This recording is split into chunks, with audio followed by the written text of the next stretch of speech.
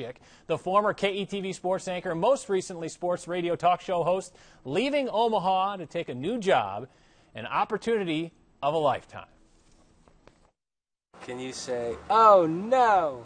Oh, yes! Matt Schick is leaving Omaha to become an anchor at E ESPNU. I'm going to be one of three on-air guys there, and uh, they just do a lot of different things at ESPNU, and, and we live in college sports. That's where I've lived for the past 10 years, so I'm looking forward to getting back in.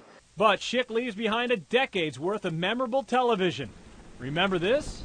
Carl Fence. They were actually going to make this a billboard, but I just wasn't comfortable with that. So, what's his favorite story during his run here in Nebraska? People say, you know, Matt Schick, you, you're from Colorado, you got the degree in Colorado, you hate Nebraska. And that's not true.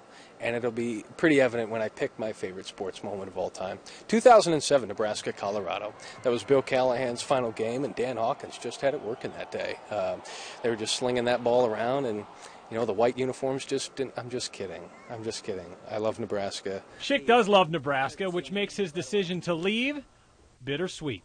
everyone's just had a huge impact and played a small role, and I just hope that uh, we can, as a family and my family, can make Nebraska proud as we go out and, and go on at a bigger stage.